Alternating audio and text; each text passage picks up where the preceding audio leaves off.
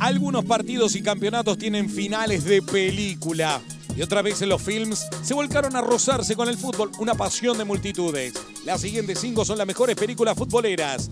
La mexicana Rudy Cursi cuenta la historia de dos hermanos luchando uno contra el otro por defender diferentes camisetas, aún sabiendo que en la vida real jamás hubieran mostrado esa faceta. En Mean Machine, Vinnie Jones encarna el papel de Danny Meehan, antiguo capitán de la selección inglesa que cae preso y arma un equipo con reclusos para enfrentarse al conjunto de los guardias del recinto. No podía faltar una película de Pelé. Y en el nacimiento de una leyenda se cuenta todo lo que vivió el brasileño desde que nació hasta ganar la Copa del Mundo en Suecia 1958. En Green Street, Matt Buckner es expulsado de la Universidad de Harvard y viaja a Londres para ver a su hermana hasta que finaliza formando parte de los hooligans fanáticos del West Ham United.